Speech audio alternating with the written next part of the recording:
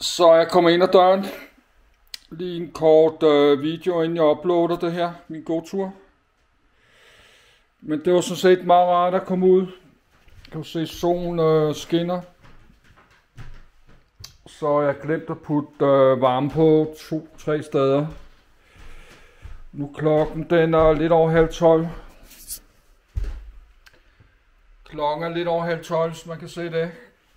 Jeg er ved at putte øh, de der coronavirus-videoer ved at putte på en playlist og noget til 150, nej 200 tror jeg.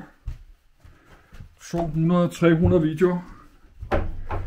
Det er de der forbereder mig til coronavirusudbrud i København. Det har lavet en playlist. Så vi kan godt tage et chat saftevand mere, det kan vi da godt. Men uh, der er jo uh, brød og sådan noget spise to boller til frokost med leverpostej og øh, druer, gurk og øh, grønne oliven. De skal bare lige skæres over på midten, ellers så triller de af. Og jeg har sådan noget bacon leverpostej. Så det er sådan shit. Så kan du godt gøre det i morgen. Behøver ikke lige at starte det her dag. Du kan også bare spise øh, brød i dag. Det tror jeg, vi skal gøre for at spise de her boller i dag. Også nogle øh, boller her. Begynder at få spist noget af det her. Så lave det der i morgen. Ja, i morgen er det jo fredag, så passer det jo meget godt, fordi så er det jo hakkebøffer. Fredag lørdag med ris og brugsovs. Lad os gøre det så. Så spiser bare noget boller og brød og sådan noget.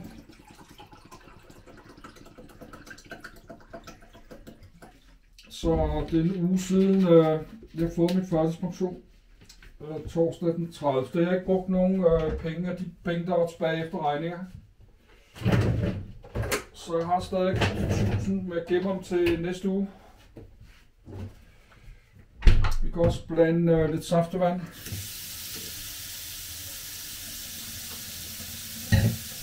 Jeg har jo saftevand øh, til hele måneden her.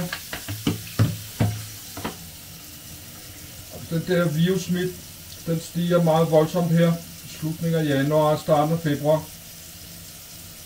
Med tusindvis, der er indlagt på hospitalet. Jamen, så har jeg nok ikke, jeg har ikke så stor lyst til at gå ned og handle Så. Jeg må lige se, hvad der sker med det.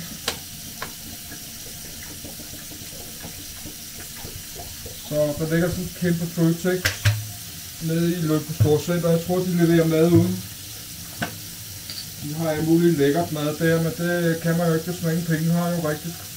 Så derfor skal mine penge være på min øh, bankkonto. Hvis jeg hæver mine penge og har i pungen, jamen, så kan jeg købe øh, mad online jo.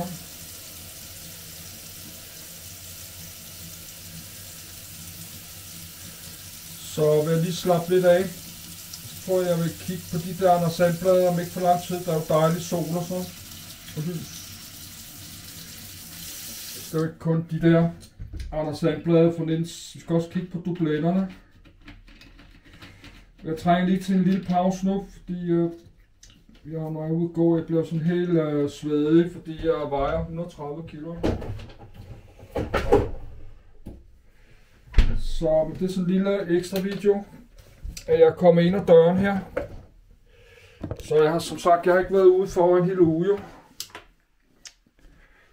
Så hvis vejret er så fint i morgen, så synes jeg, jeg skulle prøve at komme ud igen. Men nu klokken øh, 2012. Yes, bare sådan en kort øh, video.